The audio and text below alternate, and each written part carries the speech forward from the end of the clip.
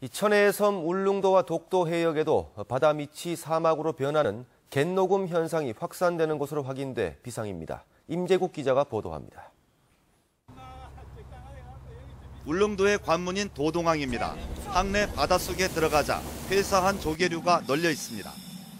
성게와 불가사리가 늘어나면서 해조류는 많이 보이지 않고 곳곳에서 각종 폐기물이 발견됩니다. 독도 일부 해역에도 갯녹음이 진행돼 해양 생태계를 위협하고 있습니다.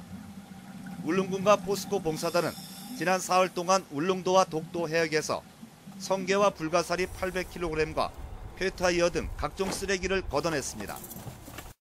해양 생태계 보호를 위해서 우리들이 해저에 있는 생활 쓰레기라든지 해초를 잡아먹는 음, 불가사리, 성게 이런 거를 구제함으로써 성게나 불가사리를 어, 잡아내 주셔가지고 우리 갯녹음도 그 방지가 되고 앞으로 바다숲 조성에 큰 도움이 될 거로 생각합니다.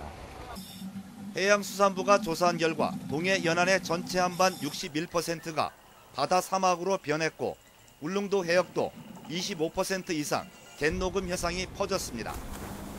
해양 환경이 악화되자 울릉도는 내년까지 북면 현포리에 바다 목장 조성 사업을 추진하고 인공어초 투하 등 다양한 대책에 나섰습니다.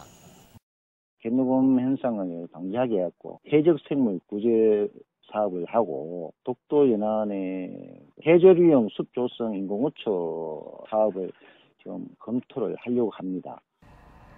한편 포스코는 철강 부산물인 슬래그를 활용한 인공어초 38기를 울릉도에 설치하기로 했고 해양과학기술원도 독도 해역의 환경 변화와 해적생물 번식을 억제하기 위해 지속적인 모니터링에 들어갔습니다.